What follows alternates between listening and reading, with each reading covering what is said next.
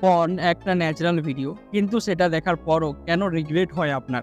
এবং সেটা ছাড়ার জন্য আমরা একশোটারও ভিডিও অনলাইনে চেক করি।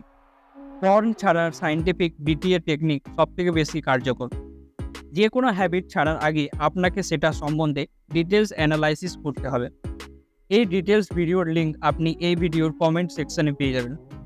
আমরা সকলেই পর্ন কনজিউম করি আমাদের ইলেকট্রনিক্স ডিভাইসগুলোতে যেগুলো কন্ট্রোল করে আমাদের থেকে বহুগুণ intelligent engineer MBA graduate scientist আর সাইকোলজিস্টরা তাই আমাদের সঙ্গে কেবলমাত্র মনের ইচ্ছা দিয়ে আমরা ফাইট করতে পারব না। তাই যেরকম হিন্দিতে একটা প্রবাদ আছে, লোহা লোহে কো কাটতা হয় সেরকম মাত্র দুটি অ্যাপের সাহায্যে আমরা এই অ্যাডিকশানটাকে কুইট করতে পারি। ডিটিএ টেকনিকে যাওয়ার আগে আপনার মোবাইলে ট্যাবলেটে বা ডেস্কটপে আপনাকে এই দুটি অ্যাপ ইনস্টল করতে হবে, যেগুলো পুরোপুরি ফ্রি এবং খুব সহজে ব্যবহার করা যায়। এই দুটি অ্যাপ আপনি সহজে ডিলিট করতেও পারবেন না। প্রথম অ্যাপ হলো স্টে ফোকাস এই অ্যাপে আপনি আপনার স্ক্রিন টাইম কন্ট্রোল করতে পারেন। কোনো নির্দিষ্ট অ্যাপকে আপনি ব্লক করতে পারেন। বিভিন্ন কিওয়ার্ড বা ওয়েবসাইট আপনি ব্লক লিস্টে ফেলতে পারেন। সবথেকে গুরুত্বপূর্ণ বিষয় হলো যে এটাতে আপনি স্ট্রিক্ট মোড এনাবেলের অপশান পান, যেটা অন করে দিলে আপনি যে ওয়েবসাইট আর অ্যাপগুলোকে ব্লক করেছেন, সেগুলোকে আর অ্যাক্সেস করতে পারবেন না। দ্বিতীয় অ্যাপ হলো ব্লকার হিরো এই অ্যাপটি স্পেশালি সেক্সুয়াল কন্টেন্ট ব্লক করার জন্য। ব্লক হিরো আপনাকে সেক্সুয়াল ওয়েবসাইটগুলোর নাম লিখে ব্লক করার প্রয়োজন হয় না। এটা অটোমেটিক্যালি সমস্ত অ্যাডাল্ট কন্টেন্ট আপনার ফোন থেকে ব্লক করে দেয়। এই দুটো অ্যাপের লিঙ্ক কমেন্ট সেকশানে পেয়ে যাবেন, অথবা আপনি প্লে স্টোর থেকেও ডাউনলোড করতে পারেন। ফোন দেখা সমস্ত দেশের লিগেল এবং বিশ্বের প্রায় সমস্ত মানুষ এটা দেখে থাকেন। আপনি পর্ন দেখতেই পারেন এটাতে কোনো অসুবিধা নেই। অসুবিধা শুরু হয় যখন আপনি শুধু এটাতে লেগে থাকেন এবং অন্য কোনো কিছুতে কনসেন্ট্রেট করতে পারেন না। আপনার ইচ্ছাশক্তি এবং প্রচুর নলেজ লাগিয়ে আপনি তখনই পর্ন কন্ট্রোল করতে পারবেন।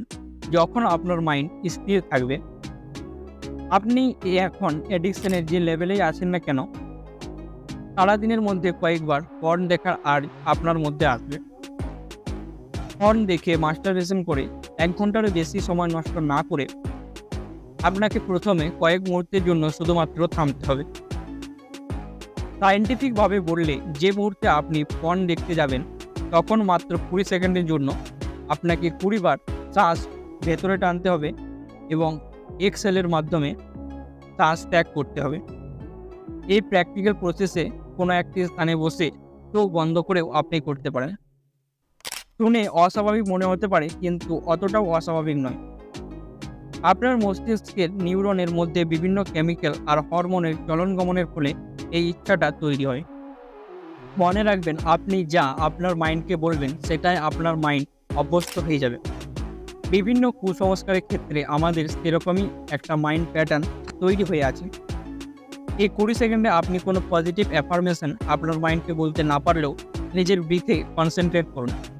কুড়ি সেকেন্ড মাত্র আপনার ব্রিথে কনসেন্ট্রেট করার পর আপনি নিজের মধ্যে একটা শান্ত মধ্যে একটা শান্ত ভাব লক্ষ্য করবেন।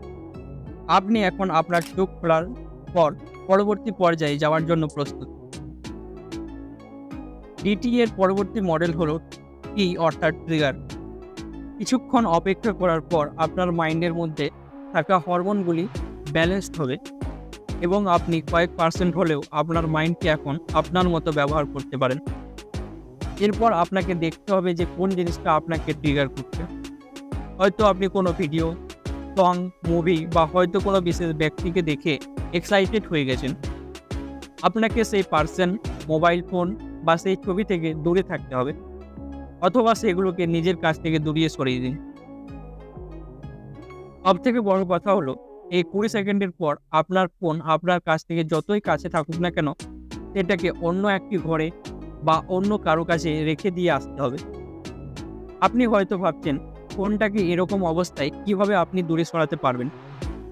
মানুষ হাতিকেও নিজের টেকনিকের দ্বারা কন্ট্রোল করতে পারে। তাহলে এই ব্রেন মানুষের কাছে কিছুই নয়।